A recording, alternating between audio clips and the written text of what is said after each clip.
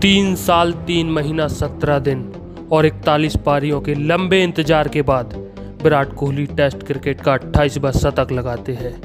1204 दिन का लंबा इंतज़ार खत्म होता है और भारतीय टीम का किंग वापसी करता है। नमस्कार दोस्तों, स्वागत है आप सभी दर्शकों का। एक कहानी है उस इंतज़ार की जो पूरा देश लगभग साढ़े तीन सालों से कर रहा था। एक कहानी है उस खिलाड़ी की जो अपने हेटर्स को मुँह से नहीं बल्कि अपने बल्ले से जवाब देने में विश्वास रखता है। 22 नवंबर 2019 ईडन गार्डन का वो मैदान, जहाँ विराट कोहली ने बांग्लादेश के खिलाफ 27वां टेस्ट शतक बनाया था, जहाँ विराट कोहली ने 136 रनों की शतकीय पारी खेली थी। इसके बाद विराट कोहली के बल्ले ने दहाड़ना बंद कर दिया। इसके बाद विराट कोहली ने बहुत कुछ सहन किया और चुपचाप सहन करता रहा और विराट कोहली का फॉर्म एकदम से चला गया। विराट कोहली अंदर और बाहर आती हुई गेंदों पर एज देकर आउट हो रहे थे। विराट कोहली ने साल 2020 में कुल छह इनिंग्स खेली, जिसमें से कुल एक अर्धशतक उनके बल्ले से आया। साल 2021 और 22 में कोहली ने कुल 30 इनिंग्स खेली, जिसमें से कोहली के बल्ले से कुल पाँच अर्धशतक निकले और 801 रन आए। आलम कुछ इस प्रकार था कि विराट कोहली के नाम से जो गेंदबाज थर थर करते थे अब वो गेंदबाज कोहली को एक मामूली खिलाड़ी मानने लगे थे। हर जगह क्रिकेट पंडित विराट कोहली का मज़ाक बना रहे थे। जिन्हें फ्रंट फुट और बैक फुट में भी अंतर पता नहीं था, अब वो लोग भी विराट कोहली की बैटिंग की नसीहत दे रहे थे। लेकिन कहते हैं ना कि जब नरगिस हज़ारों साल अपनी बेनूरी पर रो लेती है, तब बड़ी मुश्किल से चमन में पैदा होता है दीदावर। भारत बनाम ऑस्ट्रेलिया बॉर्डर गावस्कर ट्रॉफी का वो आखिरी मुकाबला। भारतीय टीम ने पिछले दो मुकाबले को जीत लिया था और एक मुकाबला ऑस्ट्रेलियन टीम के हाथ भी लग चुका था। 9 मार्च साल 2023 भारतीय टीम का चौथा टेस्ट मैच अहमदाबाद के नरेंद्र मोदी स्टेडियम में शुरू होता है। भारतीय टीम को टॉस हारकर पहले गेंदबाजी करनी पड़ती है। ऑस्ट्रेलिया पहले बल्लेबाजी करते हुए 480 रन बनाती है, जिसमें उस्मान ख्वाजा और कैमरॉन ग्रीन का शतक शामिल होता है। भारतीय टीम के सामने 480 रनों का बड़ा टोटल था। रोहित शर्मा और सुमन गिल पारी की शुरुआत करते हैं। सभी दर्शकों की उम्मीद रोहित शर्मा से थी कि आज उनका कप्तान भारतीय टीम को एक बड़ी पारी देगा। लेकिन रोहित शर्मा 35 रनों के स्कोर पर, मैथ्यू कोहनेमन की गेंद पर लघु चेंज के हाथों कैच आउट घुस गए। और भारतीय टीम की उम्मीद पुजारा भी 42 रनों के स्कोर पर आउट हो गए। अब भारतीय टीम की मुश्किलें बढ़ जाती हैं, लेकिन तभी मैदान में एंट्री होती है उस किंग की, उस किंग की, जो टेस्ट फॉर्मेट में साढ़े तीन सालों से खामोश था। लेकिन सभी को भरोसा था कि आज मैदान में विराट कोहली नहीं, बल्कि संकट मोचन विराट कोहली उतरे हैं।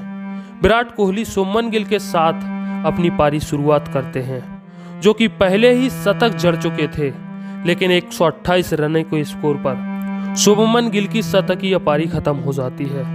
तब विराट कोहली 32 रनों के स्कोर पर थे और टीम का स्कोर 245 रन पर तीन विकेट हो जाता है। लेकिन अभी 21 ओवर का खेल बाकी था। चौथे दिन का खेल शुरू होता है। विराट कोहली उनसठ रनों पर नाबाद थे और साथ में रविंद्र जडेजा, भारतीय टीम अभी भी एक रनों से पीछे थी। जल्द ही जडेजा 28 रनों के स्कोर पर आउट हो जाते हैं। तब विराट कोहली सड़सठ रनों के स्कोर पर थे। नए बल्लेबाज श्रीकर भरत एक शानदार पारी की शुरुआत करते हैं और दोनों बल्लेबाज लंच तक पहुँचते हैं। विराट कोहली लंच तक अट्ठासी रन बना चुके थे। तब टीम का स्कोर तीन सौ बासठ रनों पर चार विकेट था। चौथे दिन का दूसरा सेशन शुरू होता है और कोहली अपनी पारी को फिर से आगे बढ़ाने लगते हैं। दूसरी तरफ़ श्रीकर भरत भी शानदार पुल शॉट लगा रहे थे। विराट कोहली धीरे धीरे अपने शतक की ओर बढ़ रहे थे। जब विराट कोहली अंठानवे रनों के स्कोर पर थे, तभी नेथन लाइन की एक गेंद पर श्रीकर भरत चवालीस रनों के स्कोर पर कैच आउट हो जाते हैं। एक तरफ़ भारतीय खिलाड़ियों के विकेटों का पतन हो रहा था, वहीं दूसरी तरफ़ विराट कोहली शतक की ओर बढ़ रहे थे। एक ओवर की दूसरी गेंद थी। टीम का स्कोर तीन रन के स्कोर पर था और विराट कोहली निन्यानवे रन के स्कोर पर खेल रहे थे। विराट कोहली फाइन लेग की तरफ़ एक शॉट लगाते हैं और सिंगल रन लेकर अपने 28वें टेस्ट शतक का आगाज़ करते हैं। और ये तीन साल, तीन महीने और सत्रह दिनों का इंतज़ार, तपस्या और तप सब कुछ खत्म हो चुका था। ये मैदान के चारों तरफ़ गूंजती आवाज़ इस बात की गवाही दे रही थी कि शेर अपनी गुफा से बाहर आ चुका है। ये तिरंगे को लहराते हुए फैंस झुककर तालियाँ बजाते हुए भारतीय खिलाड़ी इस बात की गवाही दे रहे थे कि क्रिकेट की दुनिया का राजा अपने राज्य में वापसी कर चुका है। विराट कोहली कुछ इस तरह कम करते हैं कि आज विपक्षी कंगारू टीम के खिलाड़ी भी उनके स्वागत में तालियाँ बजा रहे थे।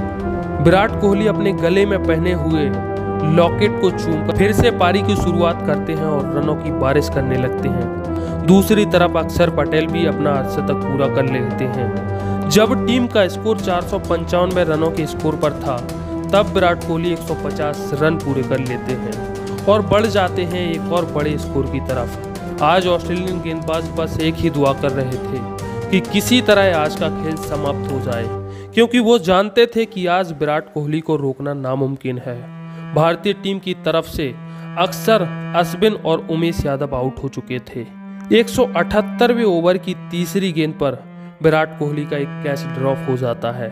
तब विराट कोहली एक रनों के स्कोर पर थे। लेकिन जल्द ही एक ओवर की पांचवी गेंद पर, मर्फी की गेंद पर विराट कोहली लबू सेंस के हाथों कैच आउट हो जाते हैं। तब विराट कोहली एक सौ छियासी रनों पर थे और 15 चौकों की मदद से तीन गेंदों में एक सौ छियासी रन बनाकर पवेलियन वापस लौट जाते हैं। यहाँ पर विराट कोहली की एक शानदार पारी खत्म हो जाती है। लेकिन तब तक ऑस्ट्रेलिया पर विराट कोहली इक्यानवे रनों की लीड चढ़ा चुके थे। कोहली की इस पारी की बदौलत कुछ फैंस खुश तो कुछ फैंस दुखी भी थे।